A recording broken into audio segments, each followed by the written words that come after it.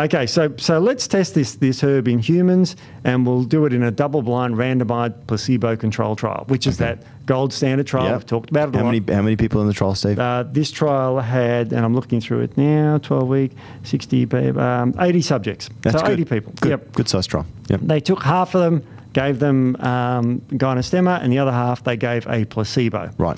Now, what they found was after during the 12 week um, supplementation, the total abdominal fat area, the total fat area, body weight, percentage of body weight, and BMI were significantly decreased compared to the placebo group. Yeah, right. So it, it really just targeted their fat mass. Wow. Now, incredibly in this study, uh, I've got a, a, a bit of a breakdown of, of, of how much it did it and all that sort of stuff.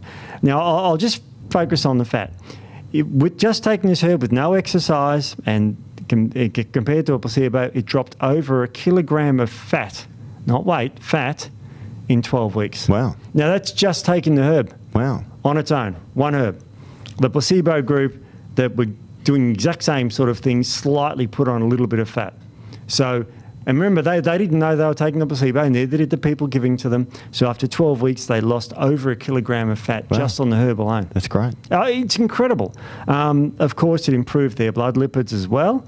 Um, but you know that's a little side effect. But it reduced the waist circumference and hip circumference significantly. Now, when I say significantly, remember that p-value that we've gone through. Yeah. Do you want to explain again for people that are Sure. listening the p-value? P, p-value to be when I say the word significant in science, it has to be less than 0.05. In other words, five percent chance Yeah. that this could have happened by by just Random. chance. Yep. Yeah, random. Yep. The p-value for this was less than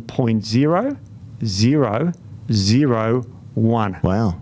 So It's n- no chance of it being a chance. no chance of it being really, no chance of this being a fluke. Yep.